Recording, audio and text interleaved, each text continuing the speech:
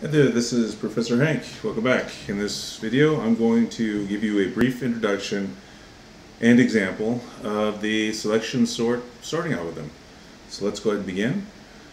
All right, so the big idea of selection sort is this, right? So um, we're going to start with the first value in a list of values, and then what we'll do is we'll swap it with the smallest remaining value in the list. Once we'll do that, we'll move to the next number in the list and repeat, right? And we'll keep repeating until there's no more numbers. All right, so let's take a look at an example. Okay, so a simple example here.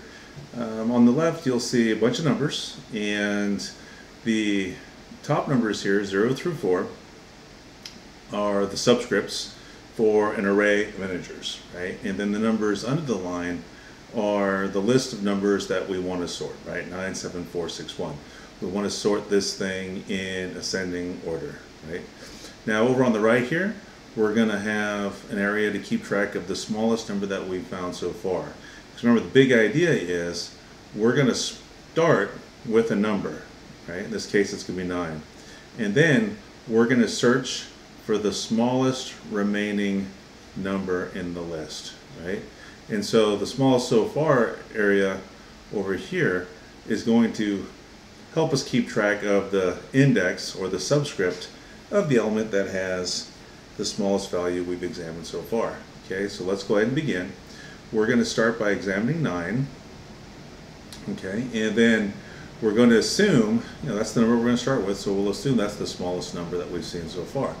So I'll make a note of that over on the right. Now, I'll start examining the rest of the array from left to right. Okay, so I'm going to look at first element here, 7. Is that smaller than the value in the element that is the smallest so far? Right? Well, yeah, because 7 is less than 9, right? So I'm going to update my smallest so far from 0 to 1, right? So element 1 now has the smallest value I've seen so far. Now let me go look in element 2. Well, is that smaller than 7? Is that smaller than the value in the element that was the smallest I had found so far? Well, yeah, 4 is less than 7, right? So the new index or subscript, right, for the new element, that's the smallest that I've found so far is 2. Then I go and I look at the next element over. Is 6 less than 4? No. So don't change anything. Go look in element 4 and is 1 less than the value inside of the element with index 2? Well, yeah, 1's less than 4. So the smallest value I've found so far is in index, or is an element with the index of 4. Okay, so now once I've made that, once I've done that, now I've examined the rest of the array, so I know which element has the smallest value that's remaining. So that's an element 4, so now I'm going to swap these guys. Right? So let me update the list to reflect that.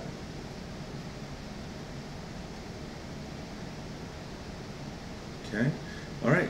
So now I'm going to have, move on to the next number, right? So we're to start there, and then we're going to search the rest of the array for the smallest remaining number.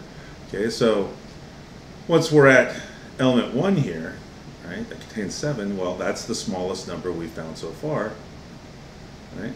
So now let's move on to element 2. Okay, well, that less than 7? Yes. So the smallest remaining value that I've found so far is that element 2. Right, so then we move over to element 3. Well, that less than 6? No. Let's then move on to element 4. Well, that less than 6? No. So the smallest remaining value in the array is that element 2, right? So then I'm going to swap these guys and let me update the list of numbers reflect that. Okay. Now, we as humans can tell that the array is sorted, but we're not done yet. Remember, computers can only examine two numbers at a time. So the algorithm has to finish, okay? All right, so then we move to the next position, 7, and then we're going to search the rest of the array for the smallest remaining number. So when we move to 7, smallest the, the index that has the smallest element we've seen that's remaining is in or is 2, right? The smallest remaining value 7 is in index 2, or is in element 2. So then we take a look at the next value over. Is that less than 7? No. So nothing changes. Move the next value over. 9. Is that smaller than 7? Nope. So nothing changes. So the smallest that we found so far is in element 2. So what we end up doing is just swapping 7 with itself. That's okay. 7 doesn't change positions. Okay, so the order doesn't get messed up. Alright, so then we move one more number over. Okay, and the smallest remaining number that we've seen so far is then in element 3. Okay, and then we search the rest of the array for the smallest remaining number. So we look inside of here, is 9 less than 8? Nope. So done searching the rest of the array. So the smallest remaining number is in element 3. So we're just going to swap 8 with itself. And again, that's okay because it doesn't mess up our order. Okay, and we're done, right? Because um, we can stop one number short because if we go here, well, there is no other numbers, right? So that's it. That's the selection sort algorithm in a nutshell. Okay, so let's summarize. In this brief video, we went over uh, the selection sort algorithm. And the big idea with how this works is that you're going to start with the very first number and the list of numbers that you want to sort. Then you find the smallest remaining number in the list, right? Once you've done that, then go ahead and swap those numbers and then move to the next number over and repeat until there are no remaining numbers. Okay, so that's going to bring this video to a close. If you felt that the video was useful, please consider giving the video a thumbs up and if you thought that the video sucked, well then you've got that thumbs down button as an option as well. If you'd like to see more videos, if you're interested in more content from the channel, feel free to hit that subscribe button. And as usual, if you're a student of mine and you have further questions, feel free to drop me an email or to stop by my office hours.